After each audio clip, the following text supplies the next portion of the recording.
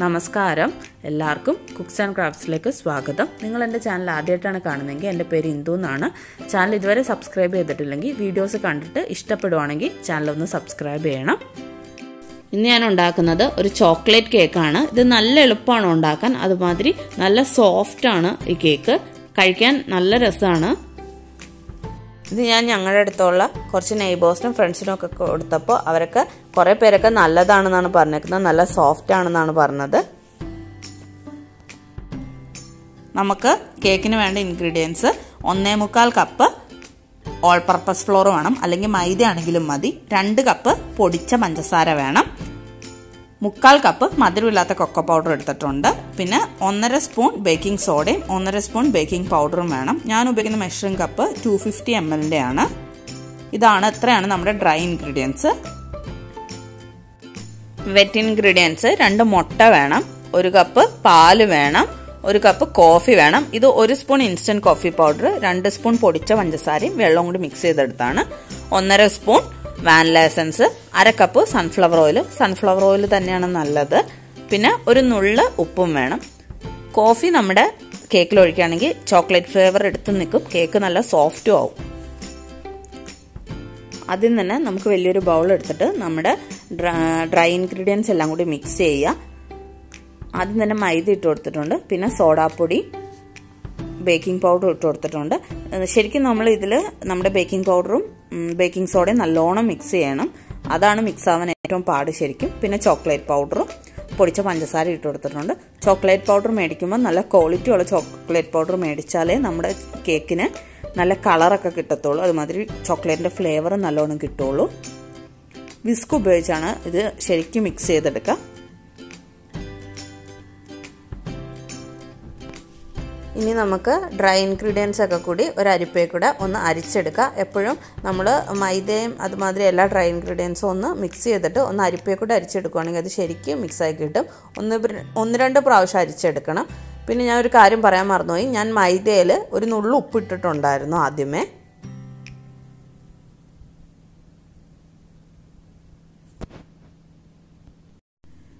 വേറൊരു ബൗളിൽ ഞാൻ മുട്ട രണ്ടെണ്ണവും പൊട്ടിച്ചൊഴിച്ചിട്ടുണ്ട്. എന്നിട്ട് ബിസ്ക്കറ്റ് ഒന്ന് മിക്സ് ചെയ്ത് കൊടുക്കുക. വാനില എസൻസ് നമ്മൾ മുട്ട ചേർക്കുമ്പോൾ അപ്പം തന്നെ ചേർത്ത് കഴിഞ്ഞാൽ നമ്മുടെ മുട്ടയുടെ ആ റോ സ്മെല്ലൊന്നും ഉണ്ടാവില്ല. ചില കേക്കിന് മുട്ടയുടെ മണം ഇങ്ങനെ കേക്ക് എടുക്കുമ്പോൾ തന്നെ മുട്ടയുടെ മണം ഫീൽ ചെയ്യില്ലേ? അതൊന്നും ഉണ്ടാവില്ല. നമ്മൾ വാനില എസൻസ് ചേർത്ത് കൊടുത്തിട്ട് മുട്ട ബീറ്റ് ചെയ്തെടുത്ത്. ഇത് മുട്ട ഓരോന്നോരോന്ന് പൊട്ടിച്ചൊഴിച്ച് ബീറ്റ് ചെയ്യണം എന്നില്ല രണ്ടെണ്ണം ഉള്ളതുകൊണ്ട് നമുക്ക് ഒന്നിച്ചിട്ട് ബീറ്റ് ചെയ്യാം. അത് നല്ലോണം ബീറ്റ് ചെയ്തിട്ട് അതിലേക്ക് നമ്മുടെ പാലും ബാക്കിയുള്ള എല്ലാ ഇൻഗ്രീഡിയൻസും ചേർത്ത് കൊടുക്കുക. വെറ്റ് ഇൻഗ്രീഡിയൻസ് കോഫിയും ചേർത്തിട്ടുണ്ട്. ഈ നമ്മുടെ പാലും അതുപോലെ കോഫിയും മുട്ടയും എല്ലാം റൂം ടെമ്പറേച്ചറിലായിരിക്കണം ഒന്നും തണുത്തതോ ചൂടുള്ളതോ ആവരുത്. ശരിക്കും മിക്സ് ചെയ്ത് കൊടുക്കുക. എന്നിട്ട് വിസ്ക് ഉപയോഗിച്ച്. ഇനി നമ്മൾ ഈ മിക്സിലേക്ക് നമ്മുടെ ഡ്രൈ ഇൻഗ്രീഡിയൻസിന്റെ മിക്സ് ചേർത്ത് കൊടുക്കുകയാണ് അത് ഒരു മൂന്നോ നാലോ ബാച്ചായിട്ടാണ് ചേർത്ത് കൊടുക്കുന്നത്. ഒന്നിച്ചിട്ട് മിക്സ് ചെയ്യരുത്. അത് ശരിക്കും മിക്സായി കിട്ടത്തില്ല.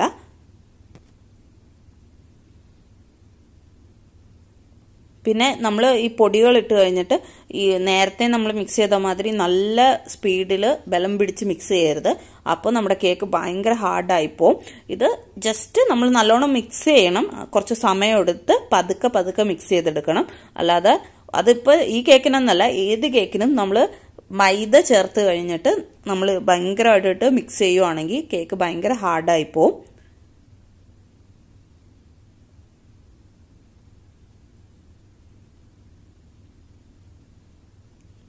കണ്ട് ഇങ്ങനെ മിക്സ് ചെയ്യണം. ഒരു റൗണ്ട് ചുറ്റിച്ചിട്ട് നടുക്ക്. ഇങ്ങനെ കട്ട് ചെയ്തെടുക്കുന്ന മാതിരി.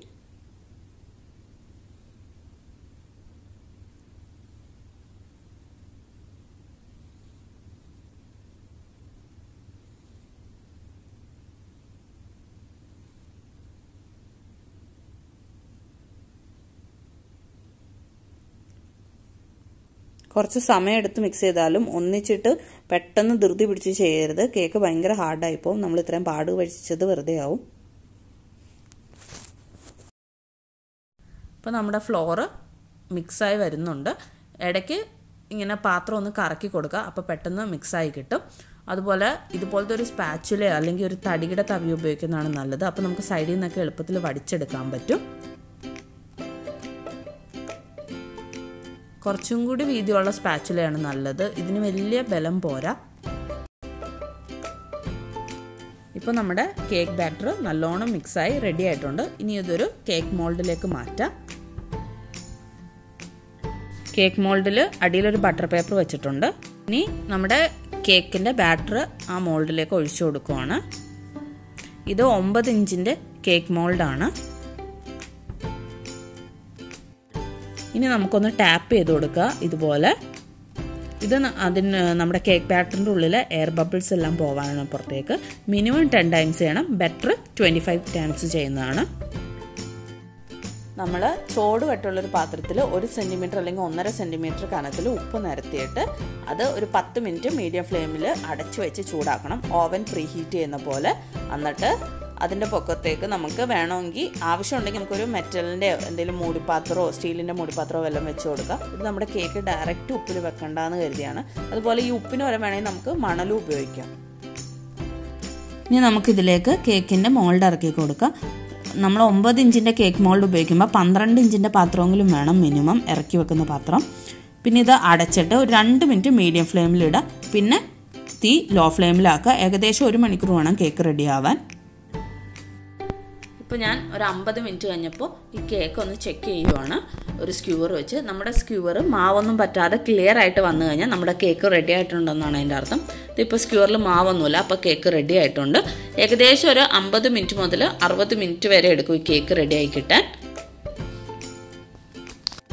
നമ്മുടെ കേക്ക് റെഡിയായി കിട്ടാനുള്ള സമയം വേരി ചെയ്യുന്നതിന്റെ കാരണം നമ്മൾ ഉപയോഗിക്കുന്ന പാത്രത്തിന്റെയും കേക്ക് മോൾഡിന്റെയും ഒക്കെ തിക്നെസ്സിന്റെ വ്യത്യാസവും അതുമാതിരി ഗ്യാസിന്റെ ബർണറിന്റെയൊക്കെ വ്യത്യാസമാണ്.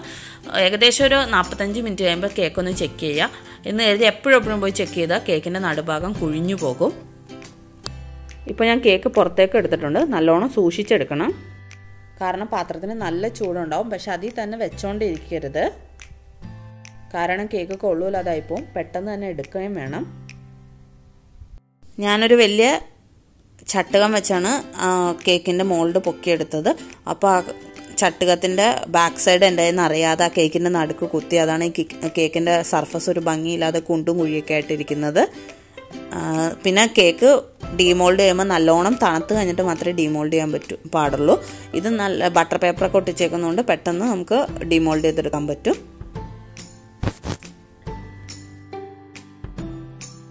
ഇനി നമുക്ക് കേക്ക് ഒരു പാത്രത്തിലേക്ക് മാറ്റാം. എന്നിട്ട് അടിയിലെ ബട്ടർ പേപ്പറൊക്കെ പറിച്ച് കളയാം. കേക്ക് ഇതേ നോക്കുമ്പോൾ നല്ല സ്പോഞ്ചി ആയിട്ടാണ് ഇരിക്കുന്നത്. നല്ല സോഫ്റ്റ് ആയിരിക്കും ഈ കേക്ക് ഇപ്പോൾ ഞാൻ ഈ കേക്ക് ഫോട്ടോ എടുക്കാനായിട്ട് കുറച്ച് ഫ്രഷ് ഫ്രൂട്ട്സ് ഒക്കെ വെച്ച് ഒന്ന് ഡെക്കറേറ്റ് ചെയ്തിട്ടുണ്ട്. ഇനി ഈ ഫ്രൂട്ട്സ് ഒക്കെ മാറ്റിയിട്ട് നമുക്ക് കേക്കിന്റെ ടെക്സ്ചർ അറിയാൻ വേണ്ടി കേക്ക് ഒന്ന് മുറിച്ച് നോക്കാം. ഇപ്പം ഞാൻ ഫ്രൂട്ട്സ് ഒക്കെ മാറ്റിയിട്ടുണ്ട്. ശരിക്കും കേക്കിന്റെ ടെക്സ്ചർ കാണാൻ പറ്റും. ഫ്രൂട്ട്സ് ഒക്കെ ഉണ്ടെങ്കിൽ അത് കട്ട് ചെയ്തെടുക്കാൻ ബുദ്ധിമുട്ടാണ്. ഇപ്പോൾ ഇത് നൈഫ് ഇറങ്ങുന്ന കാണുമ്പോൾ തന്നെ നമുക്കറിയാം. നല്ല സോഫ്റ്റും അതുമാതിരി സ്പോഞ്ചിയും ആണെന്ന്.